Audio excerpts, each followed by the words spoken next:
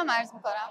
در حاشیه دومین دوره نمایشگاه رستا 1402 در خدمت آقای سراجی مدیر صدور مجوز معاونت فضای مجازی صدا سیما جمهوری اسلامی ایران هستیم. سلام عرض می‌کنم آقای سراجی.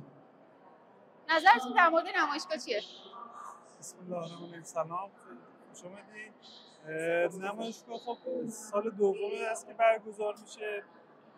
تمام رسانه‌هایی که حوزه تاثیر فضای مجازی فعال هستن و از ساترا مجوز دارن توی نمایشگاه حضور دارن امسال و اکثر فعالای تاثیرگذار توی این حوزه امسال حضور دارن و خب نسبت به سال قبل خیلی حضور پر رنگ تر بوده راضی خودمون بگم یا نه؟ بله لطف می‌کنید اگر بفرمایید. معاونت ما معاونت فضای مجازی سرویسی که داریم سرویس تلویزیون هست.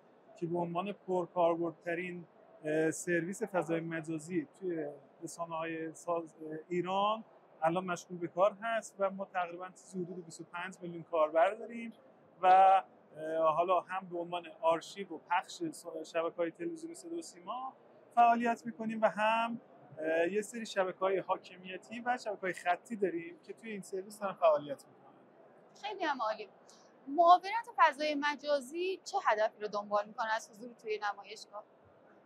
ما بیشتر خب داریم سرویس هایی که توی فضای مجازی و برودکست نمی‌تونستیم ارائه بدیم توی فضای مجازی داریم به مخاطبان ارائه میدیم و توی این نمایشگاه می‌تونیم فرصت خوبیه که به مخاطبان توی فضای مجازی تعامل برقرار خیلی هم عالی. چشم انداز سال آینده رو به چه شکل می‌بینید؟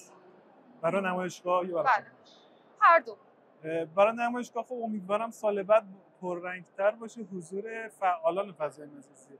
بالاخره امسال هنوز همه تاثیرگذارا حضور ندارن. انشالله که سال بعد همه باشن.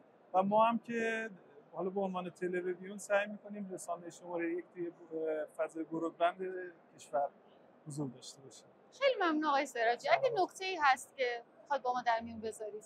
دست شما درد نکنه. خیلی ممنون. ما سعی می‌کنیم شبکه های حاکمیتیمون رو بیشتر کنیم و شبکه های مردمی که خود مردم بتونن تولید محتوا داشته باشن و توی تلویزیون ما بهشون آنتن بدیم و اونجا محتواشون رو پخش کنیم. سپاسگزارم از وقتی که در اختیار ما قرار دادید. ممنون ازتون